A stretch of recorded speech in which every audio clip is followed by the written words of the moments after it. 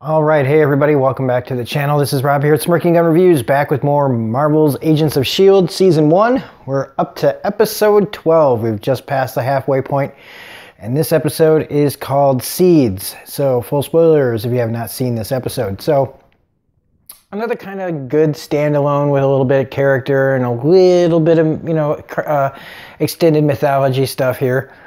Uh, what's really cool about this one uh, is, well, Fitz and Simmons get to go back to college. Well, Shield agent school, agency school. Um, Ward gets to come with, and uh, Skye goes too. Uh, meanwhile, uh, Coulson and May go off on their own little mission, and both things are pretty, pretty good. This is a pretty good episode as far as like uh, standalone episodes kind of go.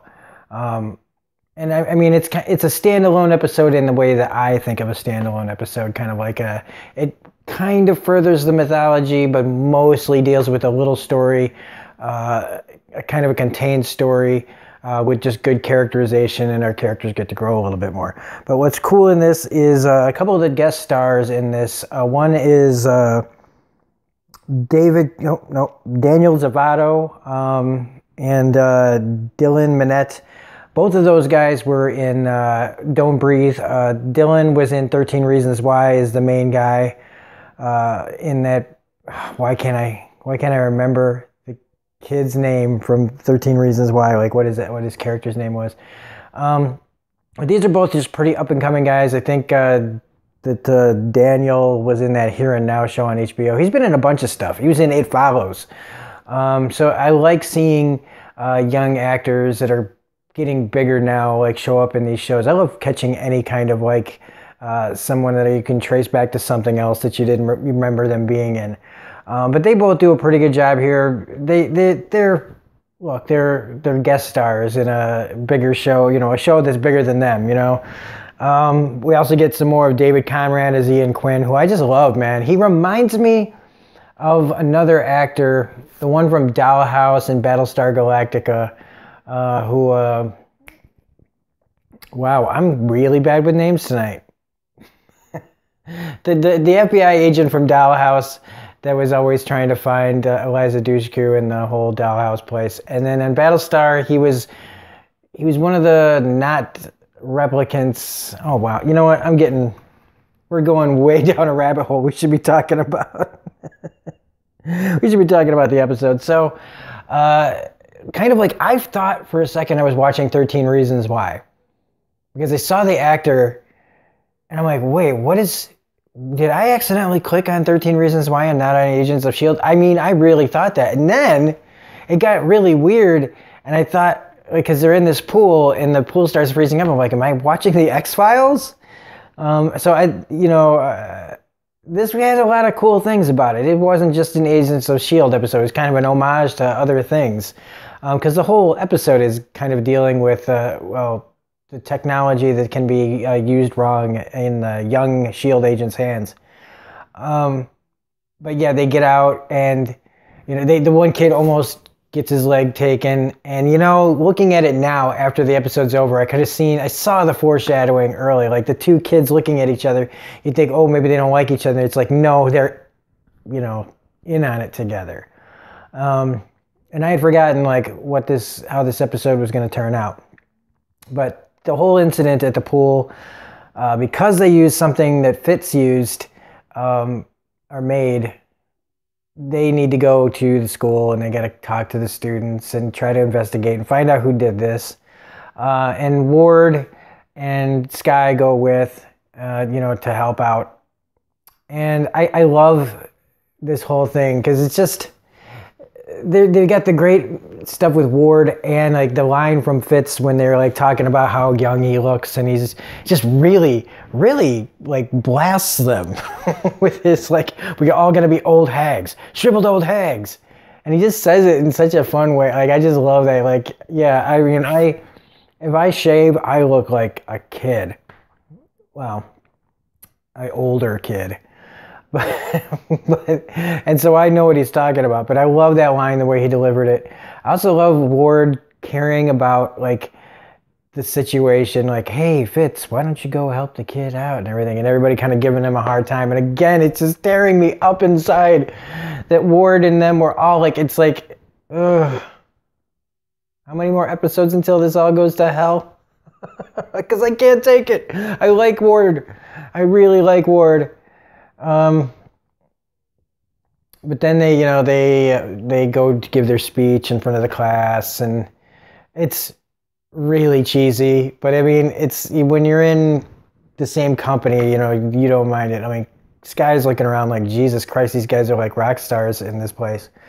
Um, but then the kid that saved the other kid from the uh, in the pool, he's now attacked, and he gets completely frozen over, and you know, so it looks like somebody there, somebody there is trying to take people out.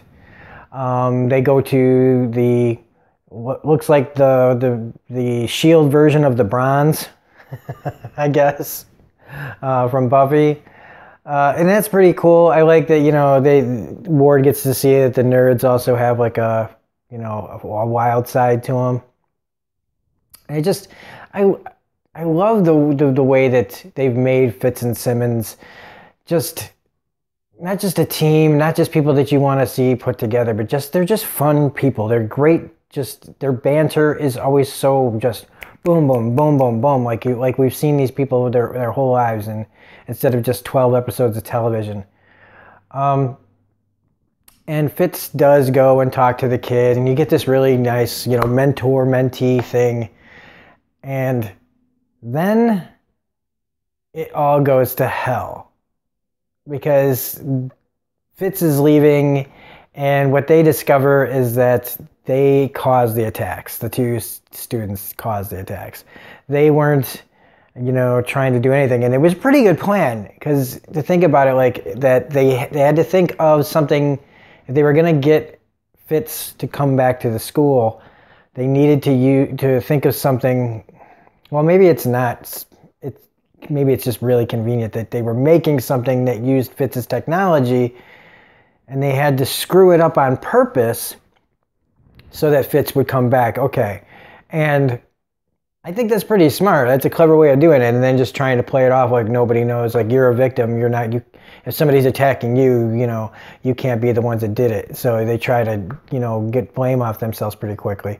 And it doesn't work out, but I got to give it to him. It's kind of a clever plan as far as getting what you wanted because that's the other thing is they're using Shield to sell their new technology to Ian Quinn, who is just on the plane drinking, just hey guys, you know, like what's going on? Impress me, you know. But like he doesn't intend, he doesn't care. Like we can see that he doesn't care, but these kids just they're so wide-eyed and so like oh i want to you know we're gonna be big we're gonna make all this money and he is just yeah, yeah, yeah, sure, sure, sure, whatever. Like, I mean, he's just great. I like this guy a lot. He's, I mean, for a bad guy, he's pretty fun. Um, and so they get kind of left high and dry, though. They think it doesn't work, but their machine ends up, ends up causing this like crazy superstorm. Now, while this has all been going on, Coulson and May are down in Mexico trying to track down somebody who knows where Skye came from. And when they do, they just a nice little fight with May. Uh, her telling Coulson about her and Ward. Uh, Coulson, you know, this coming off of Coulson talking about how, uh, you know, he doesn't want any more secrets and all this stuff. And, you know, just there's more and more things kind of peeling back after uh, he found out what happened to him, and so now there's all this distrust with Shield, and it's got it's perfectly timed for Coulson to have this kind of crisis of faith about his the people that he you know that run Shield because the Winter Soldier is about to come out and things are about to explode. So I love that those little details that they use to sprinkle in so that when the eventual fall of Shield happens, our characters, at least our major ones have kind of been getting unintentionally prepared for the fallout. I like that, that they planned that ahead and connected it to the MCU in that way.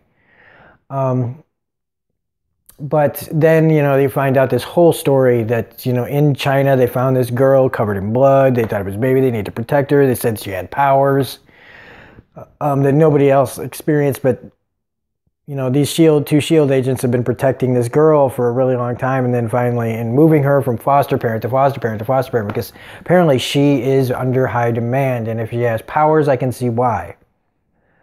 Um, but the guy tells him, you know, like you guys got to stay away from her because she's, you know, wherever she goes, people are basically trying to will kill you for to find her. Um, and that's another cool, interesting, like beginning story that you know is going to get broadened out huge uh, later on. Well, once they find that out, and May and him decide that they're not going to tell Skye, which means somebody's going to tell Skye, Um, uh, they get back to the main story, which is them trying to figure out how to stop the superstorm. Uh, the one kid gets zapped by lightning and dies. Whoops. Uh, the effect is just, I don't know. I would like a little bit more of an explanation. This thing coughs up some smoke that just kind of goes and disappears. And then, and it's not big. It just barely reaches above the lid. And then all of a sudden there's this fucking huge storm. Uh, I love this shot though, even though it's just a, a special effect. Um, but anyway, it's just it's just TV show stuff, so you kind of have to just go whatever. It's a giant storm machine, fine. Because it's not done terrible. I just don't want to. If you look too hard, you're gonna find all the cracks. Um, so May slide, you know, goes over the top of the storm as you can see here, and brings the thing in all lowered and takes him out of there, and then it's when you find out that Ian Quinn he bailed on these guys, let the one kid die, and now the other kid's you know screwed up for a while. He's gonna be screwed up. Um, but then at the end, you find out that he's got ice powers. And I don't remember if they ever go back to this story. Um, I want to say I'm, I am 50 50 on this. I am not 100% sure I remember an episode where that guy comes back in some fashion. Um, part of me says I didn't, part of me says, of course you did. So I'm confused. but I'm not going to go skip ahead and try to find out. But uh, if they do bring it back, it would be interesting. Um, looking forward to that. And then Sky getting told by Coulson, you know, getting the whole thing about secrets and all that stuff out of the way and her. I love as he's telling her the truth and his voice starts to quiet and then that music cue kicks in and there's just something about all the different things that were happening while they during that score that I just really liked just starting out with this kind of wrecking somebody with bad news to just seeing all these other things going on and then ending it with the kid with the ice. I, I really, really like this episode. This is probably like as far as like standalone episodes go, as far as you know, not just big Shield, you know, versus the World episodes. This is a good. This is a really good one. This is a standout one to me, just because it does make it personal, and I do like the acting. And even though the idea of the weather machine is pretty stupid and it looks like a giant coffee maker, um, it's still fun. You get good stuff from everybody. Good lines in here. Just total Joss Whedon type stuff. So that's it. That's Seeds. Uh, the kids go. Yeah, yeah. I already explained everything. So I think we're all caught up. Just that she, uh, Coulson is really on the fence about trust and shield right now. So anyway, that's it. So to get to the next one, uh, if you like this review, please hit the like button, comment, share, subscribe, all that jazz. Otherwise, this is Rob at Smirking Gun review saying uh, we're gonna have uh, Avengers: Age of Ultron review up tonight. Um, and possibly another Agents of Shield. Otherwise, um, I I know I've stopped doing the passage. I plan on doing kind of a a finale, uh, whatever, whenever, the, however many episodes this uh, that show has for the first season. I'm planning on doing like a finale review uh, for the first season, just because I've been busy on Monday nights trying to jam in a lot of stuff, and unfortunately, the passage is kind of uh, taking a hit there. So, oh well, uh, we will get to it eventually. Um, and that's it. So uh, we did post the Walking Dead review for the their newest episode, Walking God season two premiere uh, episode review is up as well. So anyway, this is Rob at Smirking Gun review saying thanks for all the support. There's lots of stuff to watch if you want to, and take it easy.